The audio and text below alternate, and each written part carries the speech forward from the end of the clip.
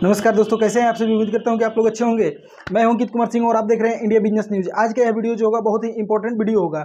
और मैं आप लोगों को एक ऐसे बिज़नेस के बारे में बताऊँगा, जो कि बहुत ही छोटे से इन्वेस्टमेंट से आप शुरू कर सकते हैं और इसमें जो है लाखों की कमाई आप कर सकते हैं। यानी कि इसमें जो प्रॉफिट जो है बहुत ही ज़्यादा है और इसमें इन्वेस्टमेंट जो है आपका बहुत ही कम होगा। आप इस बिज़नेस को अपने घर से शुरू कर सकते हैं पार्ट टाइम में भी कर सकते हैं और फुल टाइम में भी कर सकते हैं और और इस बिज़नेस को करके आप एक अच्छी कंपनी खड़ी कर सकते हैं, इससे अच्छा खासा प्रॉफिट भी कमा सकते हैं।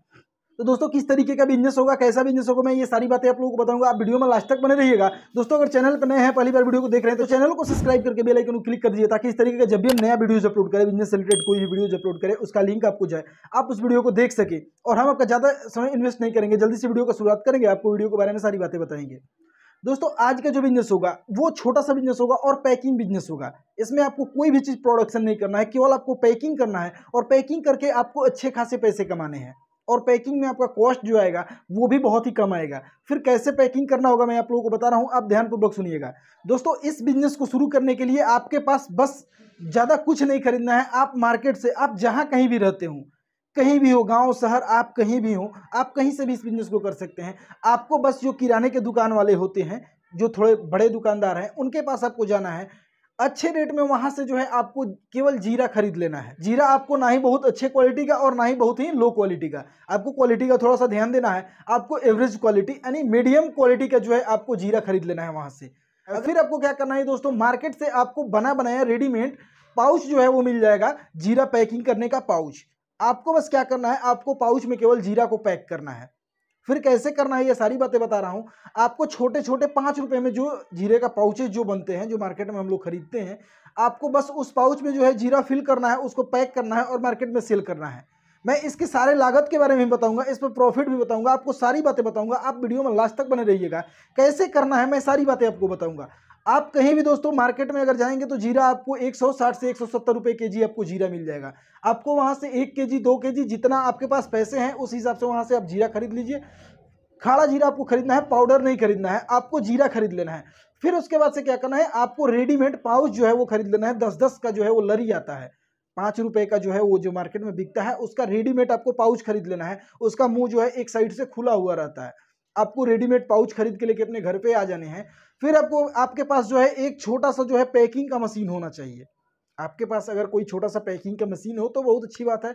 अगर नहीं हो तो आपको एक मशीन खरीदना होगा। अगर एक मशीन आपके पास है जिसका फ़ोटो हम दिखा रहे हैं, अगर ऐसा मशीन आपके पास, अगर एक मशीन आप रखे हैं, ये बिल्कुल ऑटोमेटिक पैकिंग मशीन है तो इस तरीके का अगर आप एक भी मशीन अगर रखे हुए हैं तो इससे कई तरीके का प्रोडक्ट आप पैक कर सकते हैं और अच्छे खासे प्रॉफिट आप कमा सकते हैं। तो दोस्तों, ये वन टाइम इन्वेस्टमेंट है बार बार इसमें खर्च नहीं करना पड़ेगा।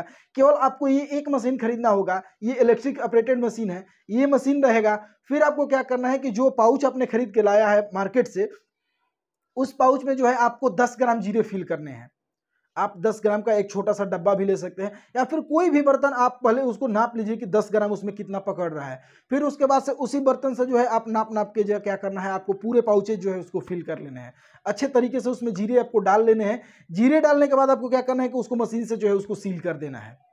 आप जब मशीन से उसको सील कर दीजिएगा, आपका जो है लरी तैयार हो जाएगा। यानी कि दस दस पैकेट का एक लरी आता है, आपका एक एक लरी जो है, वैसे तैयार हो जाएगा। लरी पूरा जो है आपका पचास रुपए का बन के तैयार होगा।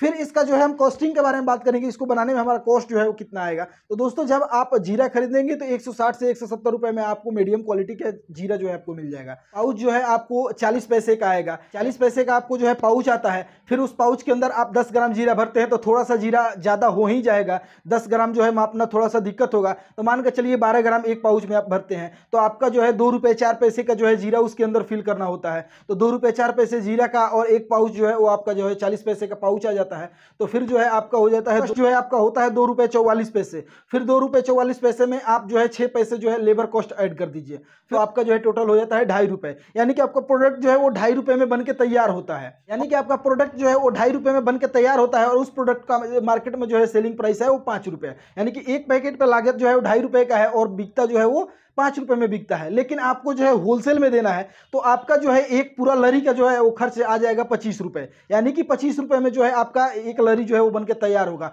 और मार्केट में इसको आप जो है वो इस पर पंद्रह रुपये अपना मार्जिन रख के इसको जो है आप जो है आप पंद्रह से बीस रुपये मार्जिन रख के और मार्केट में जो है आप इसे चालीस से पैंतालीस रुपये में आसानी से सेल कर सकते हैं यानी कि एक लरी पे जो है आपका जो है वो पंद्रह से बीस रुपये का जो है मुनाफा होता है इस तरीके से जितना ज़्यादा लरी आप पैक करेंगे जितना ज़्यादा लरी आप मार्केट में सेल करेंगे उतना ज़्यादा आपको प्रॉफिट होगा तो दोस्तों, ये इन्वेस्टमेंट का बिज़नेस है। तो आप इस तरीके का बिज़नेस कर सकते हैं और एक मशीन से कई तरीके का प्रोडक्ट जो है पैक करके मार्केट में सेल कर सकते हैं। मैं आए दिन और भी जो है प्रोडक्ट के बारे में आप लोगों को बताते रहूँगा। तो आप लोग कैसा लगा वीडियो में कमेंट करके ज़रूर बताइएगा। वीडियो अच्छा लगा तो चैनल को सब्सक्राइब करके बेल आइकन क्लिक कर दीजिएगा ताकि इस तरीके का जब भी हम वीडियो अपलोड करें, उसका नोटिफिकेशन आपको जाए। आप उस वीडियो को देख सके। हम मिलेंगे नए वीडियो में कुछ नई बातों के साथ। तब तक के लिए बाय बाय जय हिंद, वंदे मातरम।